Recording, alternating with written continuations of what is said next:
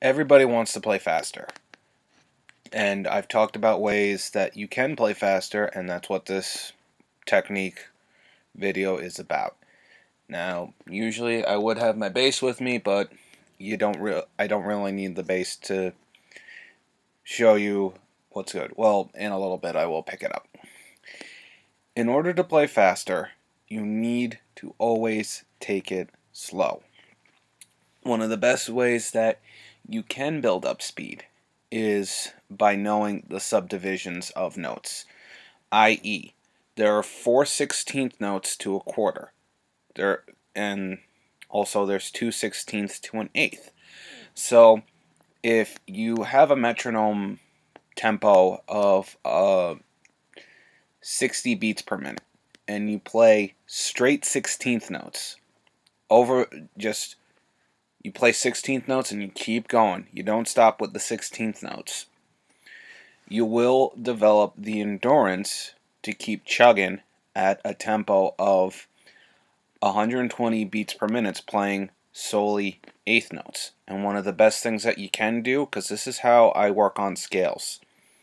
Is I'll just hammer out 16th notes, hammer out eighth notes, hammer hammer out triplets using different fingering groupings. Four four fingers, index and um, pinky, three fingers, index and ring, the traditional two, Geddy Lee flamenco style.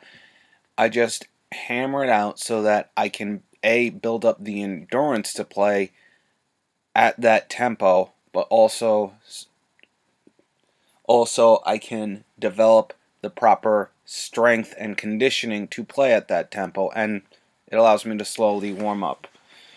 But one of the important things that you need to remember, I'm just grabbing my bass, is you need to listen to your body.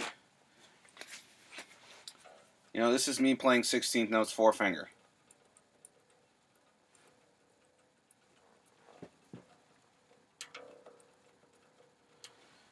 right then and there, the way that I have my arm positioned, I'm not resting my wrist on the bass. I'm not causing unnecessary pressure that can lead to carpal tunnel by just leaving my wrist flat on the bass. Anyways, I don't have my I have my shoulder relaxed. I don't have it, you know, tighten it tightened in certain areas because when you feel pain, it's your body telling you to stop. You're doing it wrong. Um, playing straight 16th notes, jumping from the whatever your lowest string is to whatever your highest string is, needs to feel the same as just chugging out, chugging it out on one string. And this goes for pick playing as well. So you got to be prepared to get up to the speed that you want to get at over a very prolonged period of time. There's still speeds that I want to be able to comfortably play at, but I haven't been able to do that because I have to re excuse me, I have to continuously just stop and start again and because my arms cramping up, my shoulders cramping up listen to your body and just take it easy. If you want to work on developing 16th note speed at slower tempos, here's here's another technique that you can use. Instead of playing 16th notes at slower tempo, those play play 30 second notes. Yeah, play 30 second notes at the slower tempo. So that's 60 beat, beats per minute, play 30 second notes. Essentially, in four beats at 60 beat, beats per minute, you want to be able to count off in your head 1 E and a 2 E and a 3 E and a 4 E and a twice.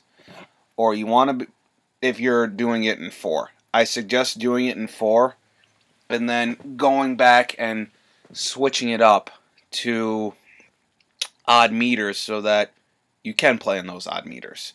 But we're keeping it simple right now in simple duple meters. So in this case 4 4. So however you count 16th notes over a 4-4 measure, you want to be able to count it off twice.